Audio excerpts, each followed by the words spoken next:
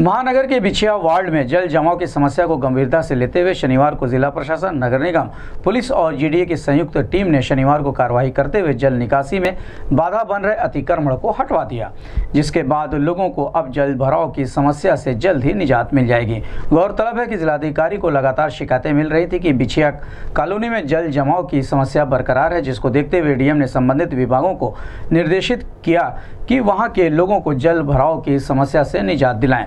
जिस पर शनिवार को पोकलैंड और जेसीबी लेकर पहुँचे। टीम ने किए गए अतिक्रमण को ध्वस्त करते हुए जल भराव से निजात दिलाने के लिए कार्रवाई की। इस मौके पर तहसीलदार सदर डॉक्टर संजीव दीक्षित, जीडीए सचिव राम सिंह गौतम सहित संबंधित विभागों के अधिकारी मौजूद रहे। हाँ।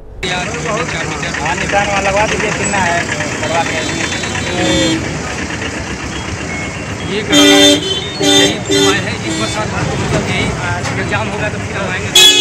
यहाँ खटाव जाए तो आगे वाले दीवे लगेंगे। आगे वाले नहीं वहाँ के बाद ये बात नहीं है। ये जो नाला जैसा बन जा रहा है उसके आगे आगे कटेगा नाले में सब कुछ बनवाया जो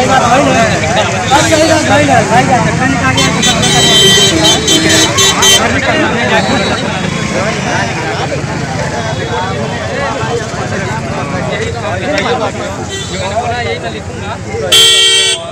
आज आज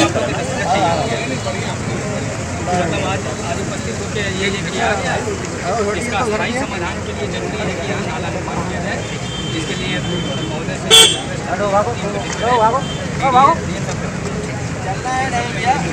ये कैसे इन लोग एक आप एक स्पॉट मेमो आप लिखवा लो बना दीजिए स्पॉट मेमो आप लिख लो बना दीजिए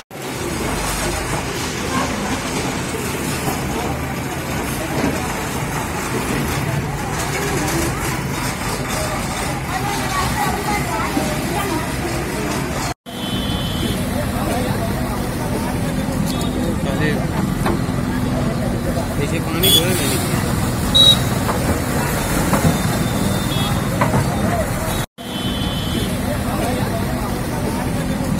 पहले जैसे पानी जो है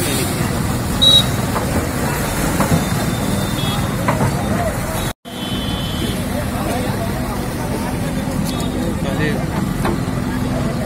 जैसे पानी जो है मैंने